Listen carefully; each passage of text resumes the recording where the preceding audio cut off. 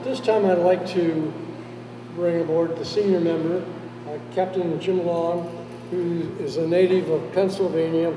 He attended Franklin and Marshall College, a graduate degree in physics, received his wings in 1950, accumulated 172 carrier landings.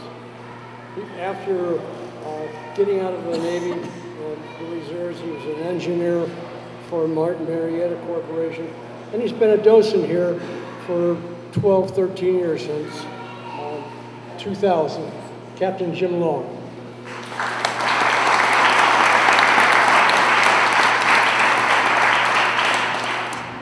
Okay, Dale, thanks.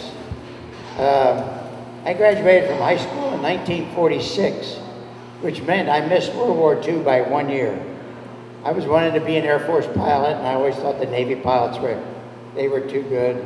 But the Navy came along right after I graduated and had a program where they said, if you go through these wickets, we'll take you to college for two years and then send you to flight training.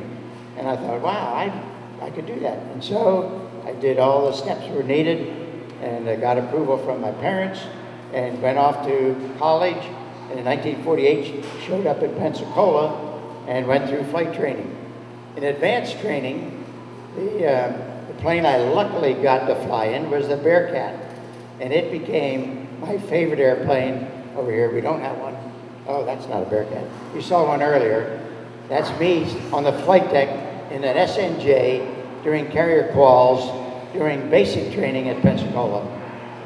So I flew the Bearcat in advanced training and for a couple months in the, in the uh, Navy, active Navy at Jacksonville. And then I got assigned to an F-9F squadron. Wow, this is really something. This was the first Navy jet built of any quantity after World War II. And I had a fighter squad. I was in a fighter squadron at, at uh, Oceana, Virginia, VF-21. And in that squadron, we made three deployments to the Mediterranean. Now, we had, my buddies were flying in the Pacific, flying the Korean War, and we were showing the flag in the Mediterranean and uh, having a great time. So it was kind of a, a, a, tough situation, but I happened to be in the Mediterranean, and uh, my, my girlfriend, now my wife, lived in Philadelphia, so it all kind of made sense. After uh, I was in the squadron for three years, I went to Pensacola, and I was an instructor, flying the SNJs as an instructor at Pensacola.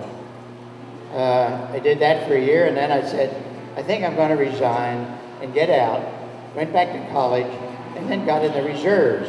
And I flew for another 20 years in the reserves, and that's when I made captain, flying all sorts of different airplanes. The FJ was one, the S2F was another one, and uh, in 1970, I got promoted to captain.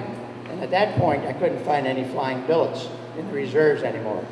So I said, I think I'll go be a FAA instructor. So I became a flight instructor. And for 40 years, I flew people, taught people to fly out of uh, Denver, Colorado, and out of all the airports around here.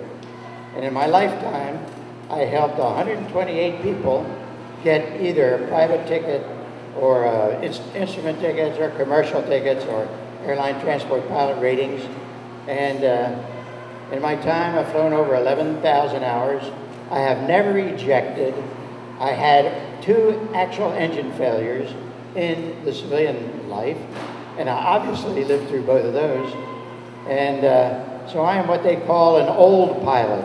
In the world of aviation, we have old pilots and you got bold pilots, but you have no old, bold pilots. Which says, I wasn't bold, but I am old. Okay, thanks.